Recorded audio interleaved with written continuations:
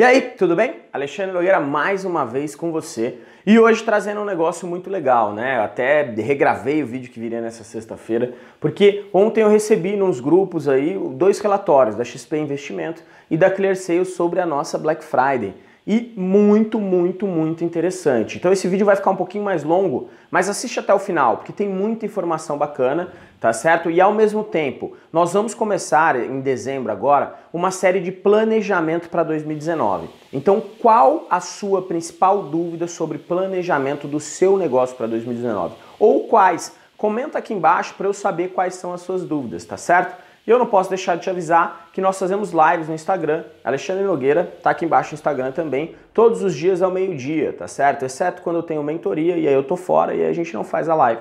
Mas senão eu tento manter uma regularidade bem legal aí, trazendo conteúdo, você tem a oportunidade de tirar dúvidas ao vivo comigo.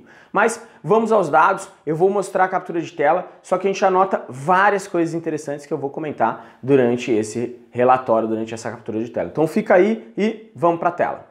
E fala aí pessoal, vamos agora na tela aqui dar uma olhada né, do relatório. A gente tem esses dois relatórios que achei sensacionais a qualidade de, de, dados que eles trazem. Né? O primeiro relatório aqui ele é o da ClearSale. Nesse relatório da ClearSale ele traz do, em dois formatos, tá? em dois pedaços, né? dois tipos de dados. Primeiro os dados são os dados do dia 23 mesmo, tá vendo? Da meia-noite às 23h59 e depois ele traz o, o, compilado, né, o consolidado do dia 23 ao dia 26. Então, se a gente for descendo aqui, ó, ele já entra com dia 23 mesmo, um total de 2 bilhões de vendas. Comparado ao ano passado, foi maior, um aumento de 15%, tá? Quantidade de pedidos foram 2 milhões 726 mil pedidos, comparados ao ano passado também já tiveram um aumento. Ticket médio foi muito próximo, mas já teve um leve aumento de ticket médio. E aqui, como a ClearSale é uma empresa especialista em antifraude, ele traz os dados das fraudes deste número. Então, dos 2,01 bilhões né, que, que foram vendidos em reais, eles evitaram de fraude 19 milhões, fora as que eles não evitaram. Né? E comparado a, a 2017, também teve um aumento natural, conforme esse aumento o pessoal também quer aproveitar. As top 5 cidades em faturamento são Paulo, Rio de Janeiro, Belo Horizonte, Brasília e Curitiba, tá? Desculpa.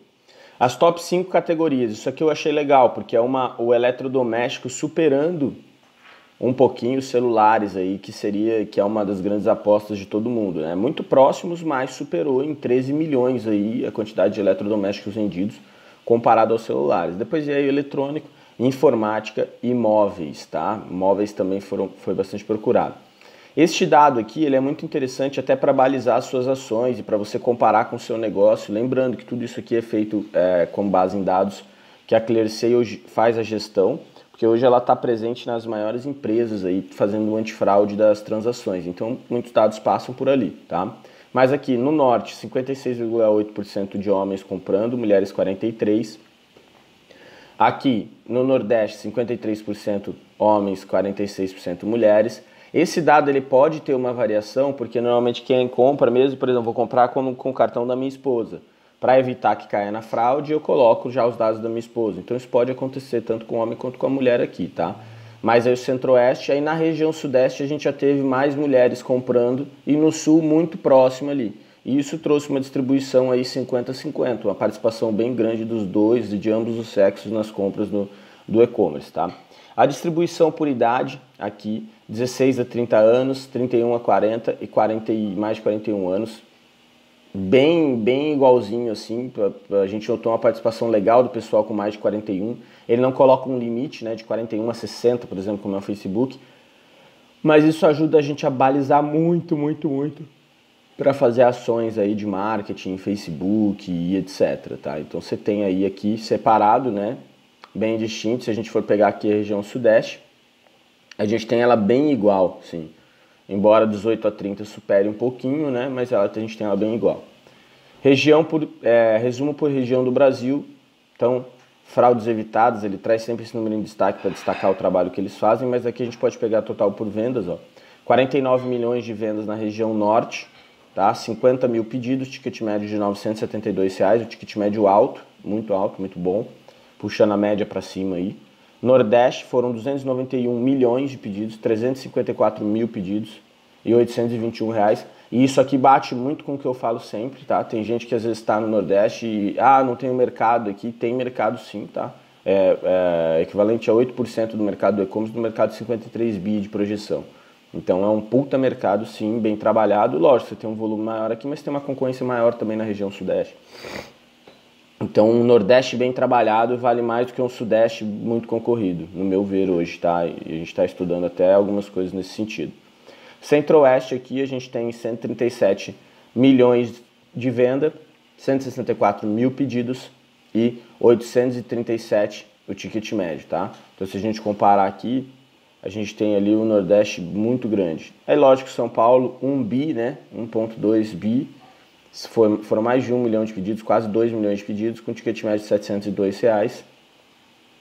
No Sul, a gente teve 305 mil é, 305 milhões de reais em venda, 401 mil pedidos, ticket médio 760. Eu estou passando um pouco rápido, vai ficar aqui embaixo para vocês fazerem o download desta, desse arquivo, tá? Região aqui, faturamento extrapolado, então ele traz os faturamentos, traz quantidade de pedidos para você poder comparar uma com a outra, traz o ticket médio para você poder comparar, então na região norte a gente teve maior ticket médio, embora a gente teve menor quantidade de pedidos, mas o maior ticket médio, e fraudes evitadas, naquelas quantidades de fraudes evitadas, certo? Então, aqui ele traz o compilado ó, do dia 23 ao dia 26. Então, aquilo que era 2.1 foi 3.44, já 19% superior ao mesmo período do ano passado, tá? Foram, foram mais de um milhão de pedidos a mais, tá? E o ticket médio ficou bem dentro do que era. Então, uma coisa que a gente pode notar é que no dia da Black Friday as pessoas compram os produtos mais caros também que elas esperaram para ter ofertas melhores. Fraudes evitadas no compilado 2018 já teve uma moderação maior das fraudes, assim, é, vamos falar que foram menos, foram menos milhões evitados de fraude. Top 5 cidades não se mexeu, então ficou São Paulo, Rio de Janeiro, Belo Horizonte, Brasília e Curitiba. Top categorias também não se mexeu, então eletrodoméstico no compilado também ganhou. O que mudou foi aqui, ó, que vestimenta, né, moda passou móveis no compilado de sexta a, a segunda-feira, ok? Então o que tinha aqui, né, 40 milhões de móveis, na verdade 255 milhões no geral da parte de roupa. Então ela superou e tirou móveis ali da, da, da quinta posição, tá? Distribuição por sexo, a gente tem aqui a distribuição por sexo, ficou bem igual, manteve-se. A distribuição por idade também, então o período realmente foi real. Aqui na região norte, foi 87 milhões de reais pedido. Eu vou descer um pouquinho aqui que tem o, o, o, compilado, né? Então a gente teve região sudeste com 2 bilhões, daqueles 4 bilhões de faturamento, região sul com 500 milhões, região nordeste, olha aqui, ó, 500 milhões, tá? Região centro-oeste, 239 milhões, região norte, 87 milhões de reais movimentados. Então, esse dado aqui, sul e nordeste, é muito legal, porque muita gente fala, não, onde vende bem é sul e sudeste, sul e sudeste, sul e sudeste, sul e sudeste. Lógico que isso aqui pode ter uma variação por ser um período de Black Friday e tal, comprarem mais, mas você vê o Nordeste evoluindo muito, muito, muito, muito, muito, tá? Isso é um puta sinal pra gente, tá bom? Aí, resumo por região do Brasil, aí ele vem trazendo aqui o estado, ó. Isso aqui é muito legal, você vê os estados que mais consumiram, né? Então você tem aqui, ó, Bahia e Pernambuco aqui, ó. Você tem Santa Catarina aqui, aí você teve o Rio Grande do Sul, muito bem, né? Aqui, Paraná também muito bem, você vai descendo, puxado, acho que grande parte foi Curitiba aqui, né, que está que tá entre as top cidades de faturamento. Aí você vem com Goiás, você vem com algumas outras. É legal dar uma olhada nisso aqui, tá? Para vocês poderem comparar até com os números de vocês. É, aqui as premissas, o que, que eles levaram em consideração, tá? Somente pedidos do e-commerce, somente pedidos com cartão de crédito como forma de pagamento. As métricas não deixam expostas dados dos clientes ClearSale nem de consumidores finais, mantendo tais informações protegidas. Aqui eles falam um pouquinho da ClearSea, eu vou deixar os dados aí, porque a gente tem que deixar eles criaram esse baita relatório aí, muito legal. Aqui tem outro relatório para complemento, que é o relatório da XP Investimentos, tá? Esse relatório aqui é, é para investimento, mas ele traz alguns dados interessantes, tá? Aqui, aqui é mais de investimento, mas ele traz aqui, eles fizeram por amostragem em alguns produtos. Então, posicionamentos varejistas, quais foram os mais caros com pagamento à vista? O Ricardo Eletro, Magazine Luiza, Walmart, Americanas e em quinto lugar no Mercado Livre. Pagamento a prazo, Magazine Luiza, Mercado Livre, Ricardo Eletro, Walmart Americanos. os mais baratos de pagamento à vista, Extra, Submarino, Ponto Frio, Casas Bahia e Carrefour, e os mais baratos de pagamento a prazo, Extra, Submarino, Ponto Frio, Casas Bahia e Carrefour, tá? Aí você entra, você entra aqui nas rupturas. Quem teve maior ruptura de estoque, Ricardo Eletro, menor ruptura de estoque, Amazon, tá? E no meio do caminho aqui a gente tem o Walmart, Magazine Luiza, Carrefour. Não a menor, né? Quinto, quinto maior ruptura. As menores rupturas no Mercado Livre ganhou Tá? O que é ruptura? São as pessoas tirarem de estoque, o estoque ficar indisponível. Tá? Então o Mercado Livre foi o que teve menor número de produtos indisponíveis, o Ricardo Eletro foi o que teve maior número, segundo o estudo da XP. Magazine Luiza aqui, então percentual de frete grátis. O Magalu vocês vão ver nesse outro relatório aqui, que aqui eles têm um, um posicionamento de preço, né? Tá vendo? Então você tem aqui o Ricardo Eletro com os preços um pouquinho maiores, e depois aqui o extra puxando, tá vendo? O submarino, no preço pagamento à vista. Preço pagamento a prazo se mantém muito aqui, o que troca é que o, o Mercado Livre sobe porque aqui de posições, o Ricardo Eletro cai no pagamento a prazo um pouco e o Magazine Luiza toma dianteira com os preços mais altos aí dentro do, do nos produtos comparados, tá? Isso aqui é um histórico de preço no pagamento à vista para mostrar a oscilação daquele, de, dos valores, né? Então se a gente olhar aqui por exemplo, Magazine Luiza ela teve um aumento no, no valor do pagamento à vista. Eles vão fazendo um comparativo, né? Aí você tem aqui, ó, índice de ruptura percentual produtos indisponíveis do site. Isso aqui é muito legal. Aqui ele compara novembro, a segunda semana, é o amarelo, e preto é Black Friday. Então, 19% dos produtos do Mercado Livre ficaram disponíveis do que eles fizeram, né? Isso aqui é, ele explica no final que é por amostragem, tá?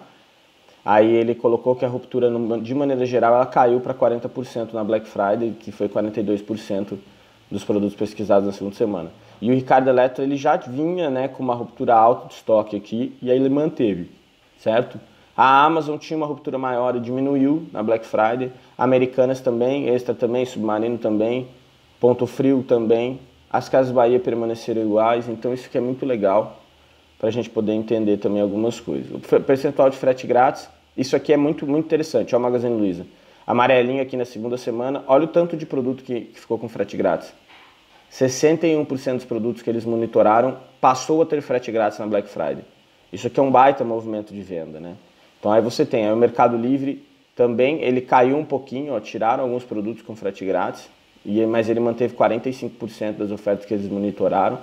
A Americanas também cresceu, ó. Submarino, então, ó, o tanto de produto que entrou com frete grátis aqui, você teve um aumento muito grande com frete grátis com relação aqui, aqui dos 29%, quase, vamos falar 40% recebeu frete grátis na, na para Black Friday. Então foi muito legal. Olha o Carrefour também aqui, ó, que interessante. Carrefour dando um pulo gigante aqui. Isso aqui é incentivo de compra, né? Aí ele explica aqui o método que eles usaram para amostragem, tá? São poucos produtos, ó, mas categorias, eles pegaram várias categorias e os produtos dessas categorias, tá? E aí eles falam um pouquinho mais aqui, certo? E é isso aí. Galera, eu espero que vocês tenham gostado, que vocês, que vocês tenham aproveitado a Black Friday de vocês, espero que tenha sido uma boa Black Friday. Ao mesmo tempo, usem esses dados para criar inteligência para fazer ação de Natal, usem esses dados para trabalhar o ano que vem, tá certo? Usem esses dados para trabalhar durante o ano, tá? Enxerguem oportunidades, enxerguem situações onde, meu, as regiões estão despontando. Vamos acordar um pouquinho para alguns movimentos que têm acontecido no Brasil, tá certo? Então, muito obrigado. Se você gostou, deixa o seu like, deixa aqui o teu comentário se a tua Black foi boa, se não foi boa, qual canal que você mais vendeu, tá? E se inscreva no canal, ative o sininho de notificação. Vamos preparar, o Natal ainda está aí, tá? Então a gente ainda consegue vender para o Natal e vamos preparar depois para o nosso 2019. Então já já vai começar uma série no canal de vídeos sobre planejamento. Sobre planejamento, qual a maior dúvida que você tem? Deixa aqui embaixo para mim qual é a maior dúvida de planejamento do seu negócio que você tem. Pode deixar várias, porque eu quero juntar as, as dúvidas que são mais procuradas para a gente poder criar um conteúdo muito legal e até mesmo um, um mini evento aí para a gente falar sobre isso, tá certo? Beleza? Grande abraço para vocês e até a próxima. E aí, nosso vídeo acabou, mas ele ainda não acabou. Eu tenho bastante conteúdo no canal, eu tenho bastante conteúdo indicado para você. Então ele vai aparecer aqui, ou vai aparecer aqui, ou vai aparecer aqui e aqui, mas assista os vídeos que eu estou te indicando, tá certo? São conteúdos relevantes para você ou são conteúdos que têm a ver com o vídeo que você acabou de assistir. Não se esquece de se inscrever no nosso canal para você ser avisado sempre que sair um vídeo novo e o seu like tem suma importância pra gente. Primeiro me ajuda a medir se eu estou conseguindo contribuir para você com o seu dia a dia e com o seu negócio. Uma outra coisa, ele ajuda o YouTube, o Google a entender se você gostou do meu conteúdo e quer ser avisado quando eu postar um novo conteúdo. Não fica de fora, porque tem muita novidade por aí, tá vindo promoção, vai vir sorteio que vão ser exclusivos para os canais, tá certo? Um grande abraço para você, conto contigo, obrigado pela tua presença sempre aqui.